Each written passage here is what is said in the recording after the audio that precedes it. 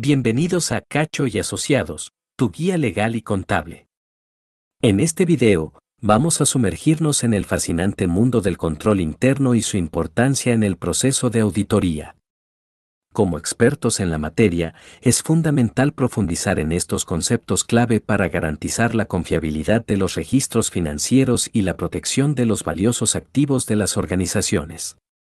El control interno abarca mucho más que simplemente cumplir con procedimientos y prácticas establecidas. Es un conjunto de políticas y acciones implementadas por una organización con el objetivo de asegurar el logro de sus metas, la fiabilidad de la información financiera y el cumplimiento de las leyes y regulaciones. En esencia, es una herramienta vital para salvaguardar los activos de la entidad, prevenir fraudes y errores y promover la eficiencia operativa. Dentro del control interno, encontramos conceptos clave que merecen nuestra atención y comprensión. Ambiente de control. El ambiente de control va más allá de establecer reglas y normas. Se refiere al tono y la cultura instaurados por la alta dirección de una organización. Incluye aspectos como la ética, los valores, la integridad y la competencia de los empleados. Un ambiente de control sólido promueve la responsabilidad, la transparencia y el estricto cumplimiento de las políticas y procedimientos establecidos. Evaluación de riesgos. La evaluación de riesgos implica identificar y evaluar los posibles peligros que podrían obstaculizar el logro de los objetivos de la organización. Estos riesgos pueden ser de naturaleza financiera, operativa, legal o de otro tipo. Es esencial comprender a fondo estos riesgos para poder diseñar controles efectivos que mitiguen su impacto y protejan a la organización de posibles contratiempos.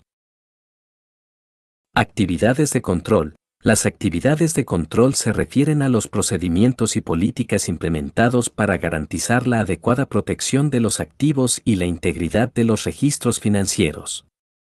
Estas actividades incluyen la segregación de funciones, las autorizaciones, las conciliaciones, las revisiones y las salvaguardias físicas. Su objetivo principal es prevenir fraudes y errores y asegurar la calidad y veracidad de la información financiera generada por la organización.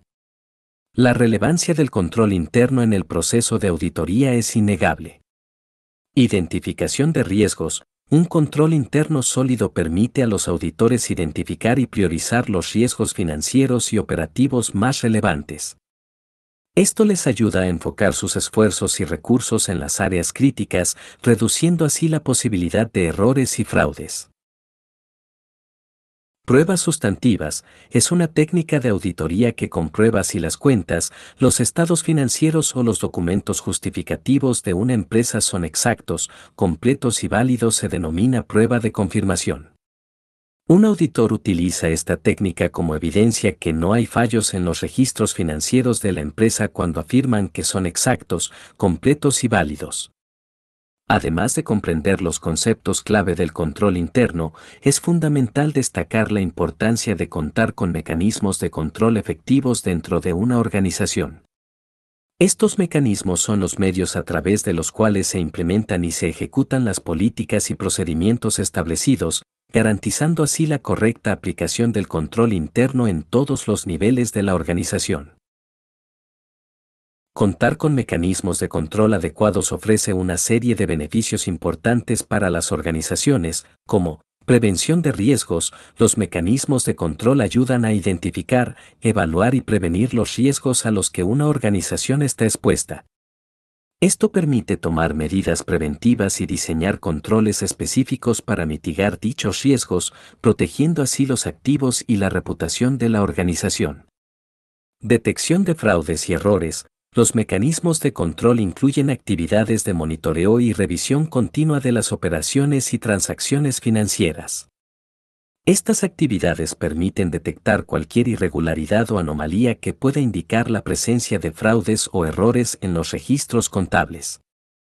La detección temprana de estas situaciones permite tomar medidas correctivas de manera oportuna.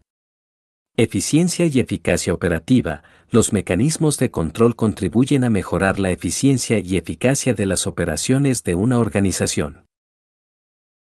Al establecer procesos y procedimientos claros, se evitan duplicidades, se optimizan los recursos y se promueve la estandarización de las actividades. Esto resulta en una mayor productividad y en la obtención de resultados más consistentes y confiables. Cumplimiento de leyes y regulaciones. Los mecanismos de control aseguran que la organización cumpla con las leyes, regulaciones y normativas aplicables. Esto incluye aspectos legales, fiscales, contables y laborales, entre otros. El cumplimiento de estas normas es fundamental para evitar sanciones legales, pérdida de reputación y perjuicios económicos. Concluimos que el control interno desempeña un papel esencial tanto en la auditoría como en la protección de los activos de una organización. Los conceptos fundamentales del control interno, como el ambiente de control, la evaluación de riesgos y las actividades de control, nos proporcionan una base sólida para comprender su relevancia y aplicarlos de manera efectiva.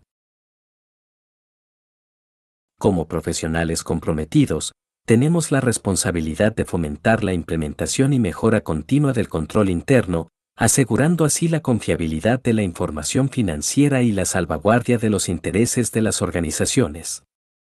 En Cacho y Asociados, nos enorgullece brindar orientación y asesoramiento en estos aspectos críticos para la comunidad contable y legal, respaldando a nuestros clientes en el fortalecimiento de sus prácticas de control interno y en la toma de decisiones informadas. No olvides suscribirte a nuestro canal y activar las notificaciones para no perderte nuestros próximos videos.